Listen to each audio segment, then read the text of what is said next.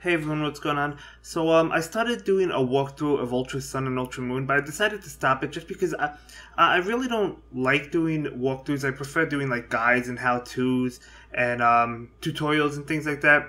So uh, I'm gonna be making videos of those, and I'm definitely gonna have videos of shiny Pokemon at some point after I beat the game or whatnot. So um, yeah, I decided to stop the walkthrough. Um, for those people that watched it, I apologize for that. But uh, I hope you look forward to more videos and more shuffle videos because I'm definitely going to continue shuffle. Um, so yeah, I just decided to show you the the Eevee event for the weekend uh, because I did get uh, two skill boosters. I've been waiting to show Eevee for quite a while now, but I, I, haven't really been getting. I've only been getting like one present, and I wanted to film either two or three, basically. Um, so yeah, that's why I just decided to uh, post this video and show you it. And um, yeah, we do get two skill booster mediums. And uh, that's going to be for this video, guys. Thanks a lot for watching. Bye.